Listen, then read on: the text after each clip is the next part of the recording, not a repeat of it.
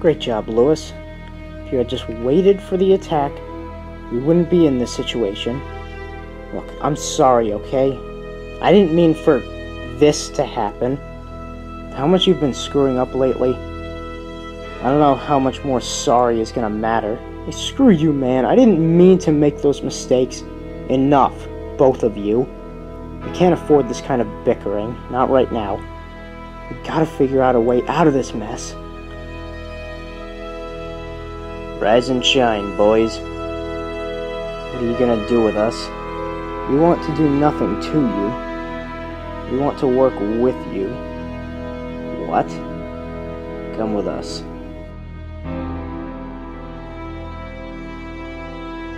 Morning, Molly. Oh, morning, Willie. Are you okay? Yeah, yeah, I'm, I'm fine. Thanks for asking. What happened to your face? I, I just, I just fell down the stairs. That's all. You sure? I said I'm fine, okay? I gotta go. I, I can't be late. See you later. Shit. The hell kind of place even is this? In all my years of being on criminal grounds, never seen anything like this before. Let's just get this over with. Grim 5 members, we have an offer to propose to you. What kind of an offer? I'm sorry, I don't think I recognize you as being a member. My name's Abraham. I'm their newest recruit. After, um, you know. Pleasure's all mine, Abraham. My name is Richard. And this is my legion. We may be small, but believe me, we can do plenty of damage if we put our minds to it. Violence is our expertise. We understand that you hold vengeance against those shadow men, the guys in suits who run the nightclub. So do we. We don't have much experience on planning, just the violence. But we have plenty of guns and you seem to handle yourselves against them. How would you like to help us out? Meaning that you join us, and we take them down together. Do you think we can talk about this in private? Ten minutes, or I let my friends cut you up. Fair enough.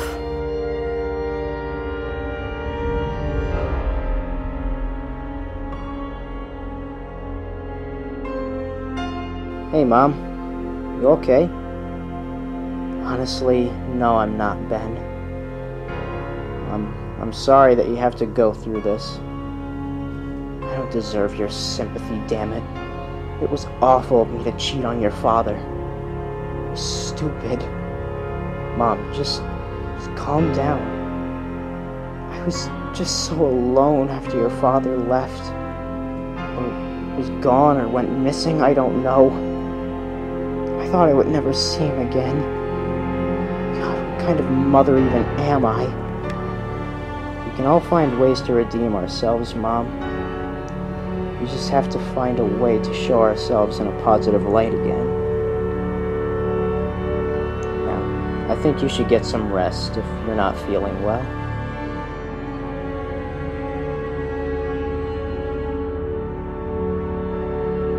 I don't know if I trust these guys. They have guns, and we don't.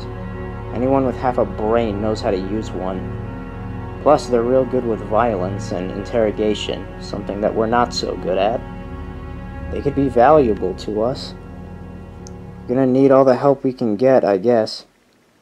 Well, they seem a bit too brutal, at least for my taste. As long as they trust us and they actually go through with helping us out, that's all that really matters. I'm sorry, I just have a bad feeling about this. Maybe it wouldn't be so bad to do that. After all, Paul told me about this gun store that we could go to. Plus, these guys don't know where we live. May even get lucky and they kill Alan and his men for us. Okay, so we're declining their offer? Yes. We don't need help from these freaks.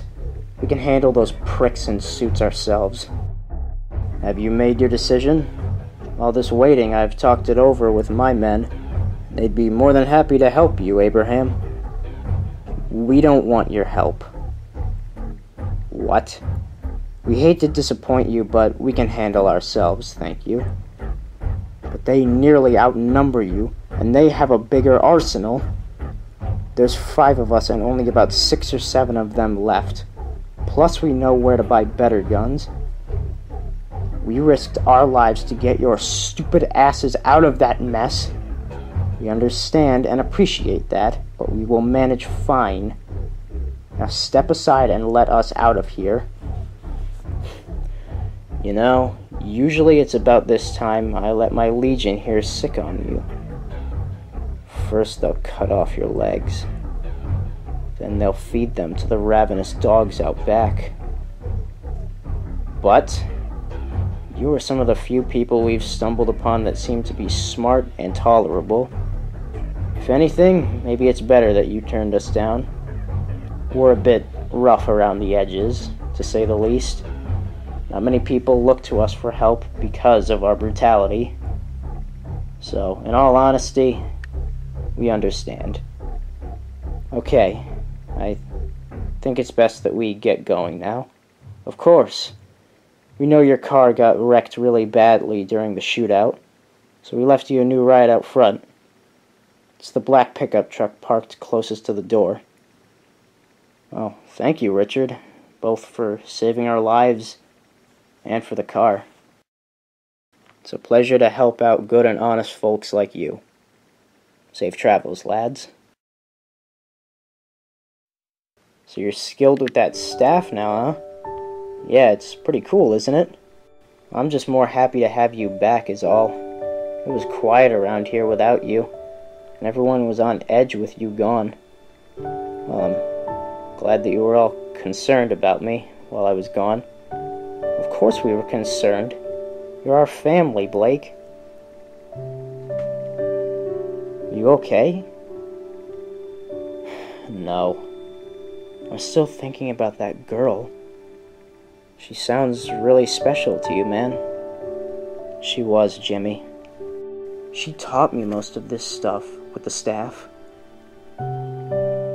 And she didn't seem to care for anyone but herself at first, but she cared enough about me and my life to risk her own life to help me escape.